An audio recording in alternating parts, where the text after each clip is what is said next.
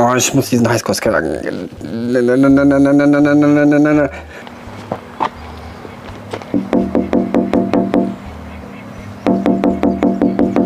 Oh. Was denn? Boah, ey. Mann, ey, da ist doch schon alles oben angezeigt. Los. Oh. Mach auf. Ich will auch doch nur eine Auskunft. Ey. Hallo. Entschuldigung. Bist du Schienenersatzverkehr? Ja, ich bin der Schienenersatzverkehr. Ja, ich wollte nur wissen, wollte nur eine Frage stellen.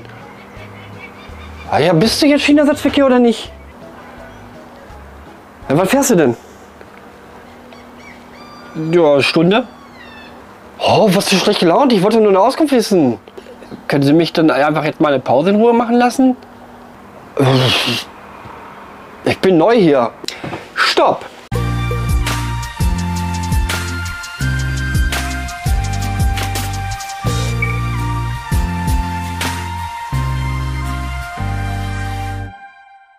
Herr Busfahrer! Herr Busfahrer! Ja, Herr Busfahrer, ich wurde doch mal gebeten, zum Beispiel auch von einem Verkehrsunternehmen mal noch mal auf, die sich so ein bisschen spezialisiert haben auf ähm, Schienenersatzverkehr, wurde ich gebeten, mal so ein Video zu machen, ähm, speziell für den SEV, ja, für die Fahrer zum Beispiel. Ähm, auch viele Fahrer haben mich schon mal angesprochen diesbezüglich, ob ich da mal nicht ein Video zu machen könnte. Ich meine, das habe ich gedacht, okay, mach's mal. Folgende Situation. SEV, ja, Schienenersatzverkehr, irgendwie, ob Trauer Straßenbahn, Tram, ja, beziehungsweise Zug, ne, S-Bahn oder was auch immer, fährt nicht, ausgefallen, baustellenbedingt oder was auch immer, ne, Gleisarbeit, Gleisbauarbeiten, so, dann wird so ein Schienenersatzverkehr eingeführt.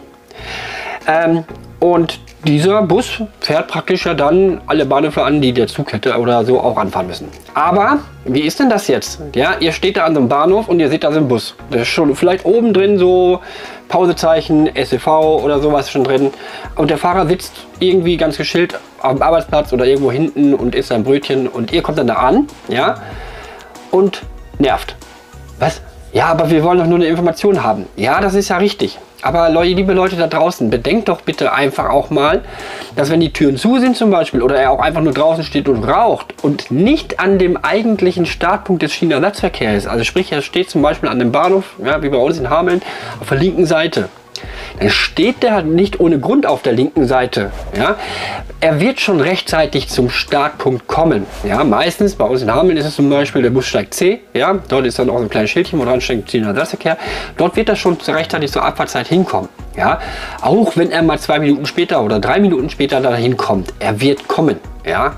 Okay, wenn es dann ist, ist wirklich kein Schienenersatzverkehr eingeführt worden.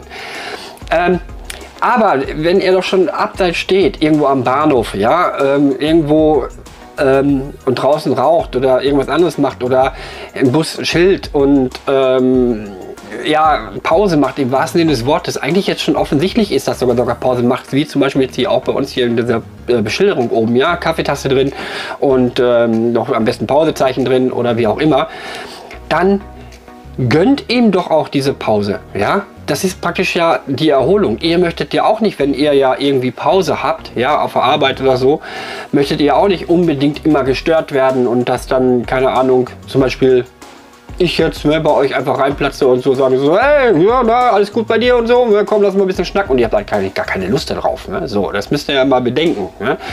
Ähm, das gilt nicht nur für den Schienenersatzverkehr, ne? wenn oben zum Beispiel keine Schielbeschilderung drin ist, aber auch sogar selbst wenn eine Schielbeschilderung drin ist und man irgendwo abseits des eigentlichen Bussteiges steht, dann lasst die Fahrer doch einfach ihre Pause machen. Ja, das dient ja letztendlich zur Erholung und zur Sicherheit für euch.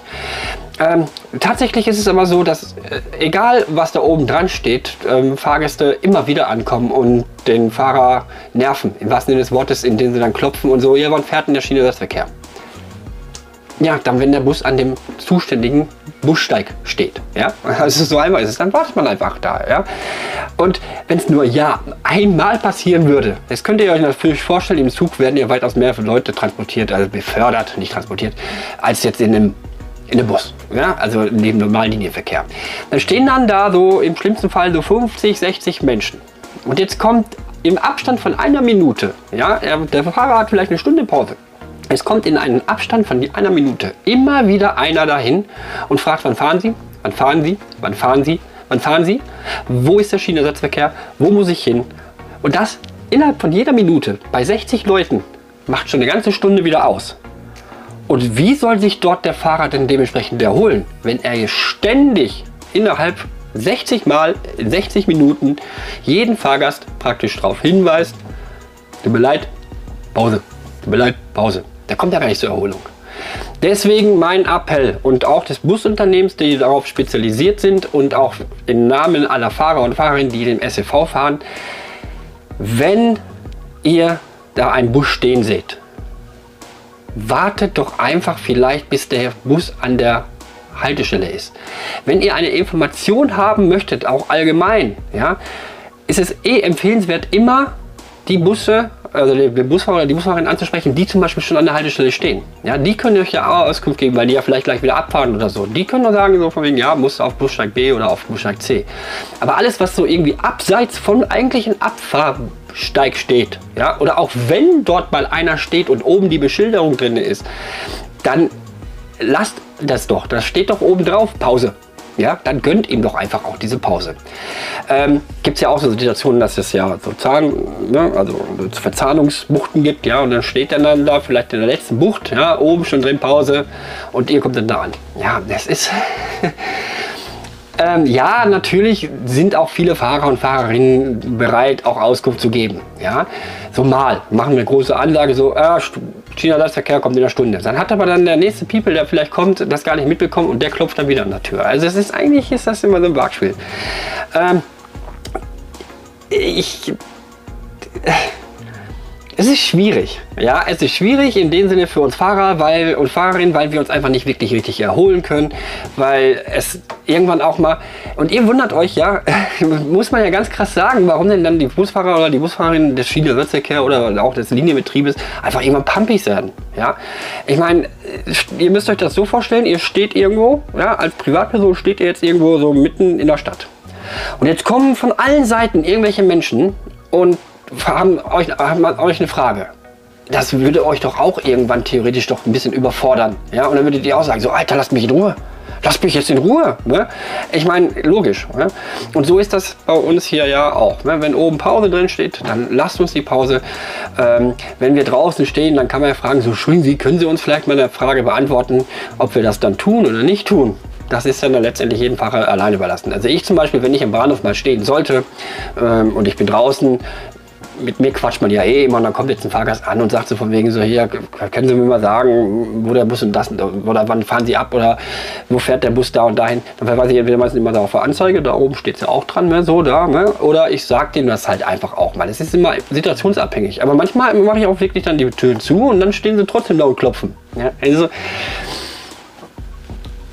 ja, ähm, einfach mal so ein bisschen nachdenken, Bus anschauen, was steht oben dran. Ja, auch wenn Ziellinie dran stehen sollte und der aber abseits steht, wo steht der Bus? Einfach sich darüber mal ein bisschen ein Stück weit Gedanken machen.